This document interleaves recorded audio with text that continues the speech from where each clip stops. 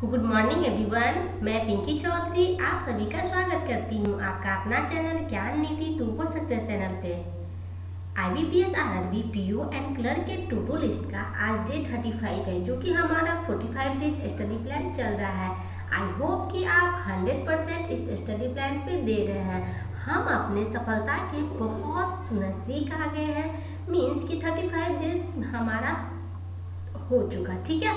अब हमारे पास बच गया है टेन डेज़, क्योंकि हमारा फोर्टी फाइव डेज़ में थर्टी फाइव या टेन डेज़ बच गया और हमारा I B P S P O का R R B P O का एग्ज़ाम का डेट भी आ चुका है। तो इसीलिए एग्ज़ाम का जो डेट आ चुका है तो अब अब हमें और ज़्यादा मेहनत करने की ज़रूरत है। मीन्स कि अब हमें क्या करना है? प्रैक्टिस करना है और ज़्यादा।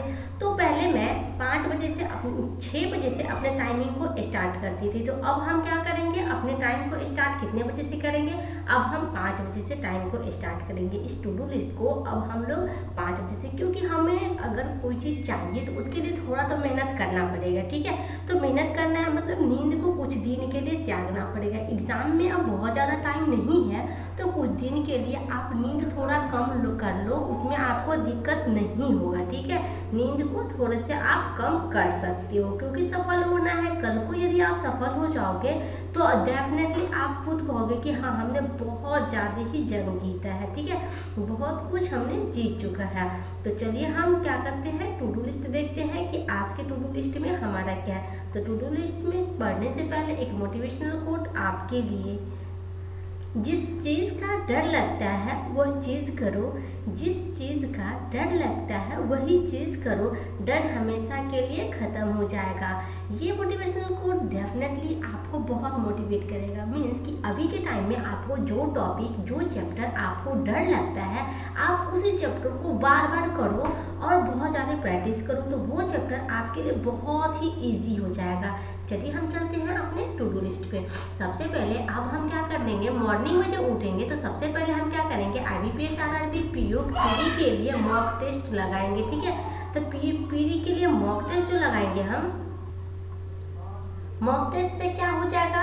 आपके, क्योंकि एग्ज़ाम में दस ही दिन बचे हैं तो मॉक टेस्ट लगाना बहुत ज़रूरी हो जाएगा, क्योंकि मॉक टेस्ट ही एक ऐसा चीज़ है कि आपको पर डे हर एक टॉपिक हर एक चैप्टर आपका क्लियर हो रहा है, ठीक है? उसके बाद हम लोग क्या करेंगे? मोई स्पीड बूस्टअप अपना सेशन करेंगे, जो कि simplification approximation wrong number series missing number series and quadratic equation करेंगे, ठीक है? उसके बाद हम लोग क्या करेंगे? न्यूज़पेपर पढ़ेंगे। इंग्लिश और हिंदी दोनों न्यूज़पेपर पढ़ना है। हिंदी न्यूज़पेपर का संपादकीय पेज करना है, क्योंकि आरआरबी का एग्ज़ाम है तो आरआरबी के एग्ज़ाम में हमें मेंस में हिंदी भी रहते हैं तो बहुत बच्चे क्या करेंगे, मेंस में हिंदी लेते हैं, ठीक है? इसलिए हमें पेपर, न्यूज़पेपर पढ़ना है। और इंग्लिश न्यूज़पेपर आप पढ़ते हो तो इंग्लिश न्यूज़पेपर में जो वर्ड आपको नहीं आती है, उसको क्या करना है? आपको नोट डाउन करके रखना है, ठीक है? वर्ड कलेक्शन करना है, जिससे क्या हो जाता है? इंग्लिश में हमारी इंग्लिश की अंडरस्टैंडिंग भी अच्छी हो जाती है और साथ ही साथ हमारा वर्ड मीनिंग भी स्ट्रॉन्ग होते चला जाता है, ठीक है? चलिए नेक्स्ट चलते हैं। इसके बाद हमको क्या करना है? करेंट अफेयर करना। है हम लोग वन वन आवर हम लोग क्या करते हैं? करेंट अफेयर पे देते हैं। वीडियो सोर्सेज या पीडीएफ सोर्सेज जिससे आपको होता है, आप उससे आप करेंट अफेयर कर सकते हो, ठीक है? उसके बाद हमें क्या करना है? हिंदी का वन सेट प्रैक्टिस करना है। ये हिंदी का वन सेट प्रैक्टिस जो है, दो चार दिन और हम कर लेते हैं। उसके बाद इसको अभी थोड़ी दिन के लिए क्या करेंगे? ब्रेक कर देंगे, ठीक है? क्योंकि अगर प्री अगर वन वीक रह जाएगा प्री में तो हम मेंस की कोई भी टॉपिक को टच नहीं करेंगे। ओनली फॉर प्री पे फोकस देंगे। मेंस की कोई भी टॉपिक टच नहीं होगा। अभी हम दो चार दिन और मेंस की कर लेते हैं। उसके बाद हम लोग मेंस की छोड़ देंगे। फिर प्री एग्ज़ाम हो जाएगा, उसके बाद हम लोग फिर से मेंस की प्रिपरेशन करेंगे, ठीक है? चलिए अभी आपको वन सेट प्रैक्टिस करना है। आगे उसके बाद फिर हमको क्या करना है? उसके बाद हम रीजनिंग पे दो घंटे कर देते हैं। Coding to decoding five question alphanumeric series five question direction का five question circular seating arrangement के five question month with date based puzzle इसके भी five question five question means कि वन सेट करने हैं, ठीक है? आपको एक मेन्स लेवल के रीजनिंग करने हैं मेंस लेवल के पजल करने हैं रीजनिंग में।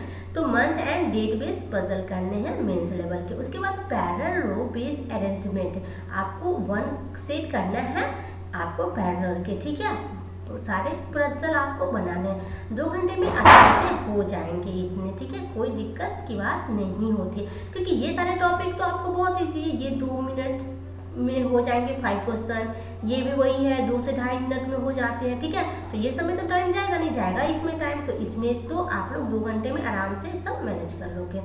क्योंकि स्पीड ही सबसे मेन रहता है। चलिए, आगे चलते हैं। उसके बाद हमें क्या करना है? उसके बाद हमको यहाँ पे हम ये क्या कहते हैं अर्थमेटिक पे जाते हैं। अर्थमेटिक में सबसे पहले हमको क्या करना है? अर्थमेटिक में यहाँ पे हमको बार ग्राफ जो है, उसका तीन सेट करना है डी आई प्री लेवल के। और आपको यदि अप्रोच सीखना है तो आप वीडियो से अप्रोच सीख सकते हो, ठीक है? जो आपको डिस्क्रिप्शन में इस वीडियो वीडियो का लिंक डिस्क्रिप्शन में मिल जाएगा, ठीक है? या फिर आपको डायरेक्ट अगर लिंक नहीं दे पाऊँ तो आप क्या करना डायरेक्ट जाना प्लेलिस्ट में, वहाँ पे डाटा इन्विटेशन प्री करके होगा, वहाँ से आप जाके देख सकते हो। डी आई मेन्स लेवल के वन सेट आपको डी आई मेन्स लेवल के वीडियो देखने हैं और उससे आपको अप्रोच अच्छे से सीखने अर्थमेटिक के आपको टेन क्वेश्चन देने मैं अभी अब टॉपिक वाइज नहीं देखे अर्थमेटिक सिर्फ़ डालती हूँ क्योंकि अब हमारा टाइम नज़दीक है, ठीक है? तो अब सिर्फ़ अर्थमेटिक के क्वेश्चन डालती हूँ ताकि हर एक चैप्टर से आप दो तीन दो तीन क्वेश्चन करो ताकि हर दिन आपका हर एक चैप्टर रिविजन होता चले जाए। उसके बाद आपको क्या करना है? इंग्लिश इंग्लिश के लिए आपको फाइव क्वेश्चन फिलर के करने हैं आर सी वन से प्री लेवल के करने हैं। अब मैच द कॉलम भी एक सेट करना है। एरर एक्सपोर्टिंग एक सेट ये भी करना मीन्स कि फाइव क्वेश्चन ये भी करने हैं। ठीक है, चलिए आगे चलते हैं। आगे इसके बाद क्या है? आगे आपको करना है वो क्या है? डिवीज़न और करेंट अफेयर के एमसीक्यू डिवीज़न करेंट अफेयर के एमसीक्यू डिवीज़न में आपको क्या करना है? इसमें आपको जो मॉर्निंग में आप वीडियो सोर्सेज से या फिर पीडीएफ सोर्सेज से जिससे भी आप जो करेंट अफेयर पढ़ते हो डिटेल में तो इवनिंग में आपको क्या करना है? उसको आपको एमसीक्यू के थ्रू रिवीजन करना है। आप इसके लिए मैं आपको रिकमेंड करूँगी कि हमारे ज्ञान नीति ऐप पे या फिर साइट पे जाओगे तो वहाँ पे आपको ये कोर्स दिखेगी, ठीक है? इस कोर्स पे जाके आप फिर इस कोर्स को बाई कर सकते हो, जो कि 24 मंथ सब्सक्रिप्शन के साथ है और M C Q important question आपको मिलेंगे और डिटेल एक्सप्लेनेशन भी मिलेंगे। आप एक बार जाओ, वहाँ से देख सकते हो। इसके बाद आपको रात में क्या करना है? डेढ़ घंटे का टाइम है, उसमें आपको दो पार्ट में डिवाइड करना है। एक कंप्यूटर के लिए, दूसरा बैंकिंग अवेयरनेस के लिए। तो कंप्यूटर आप अभिषेक सर को फॉलो करो, अभिषेक सर आपको क्लियर करेंगे।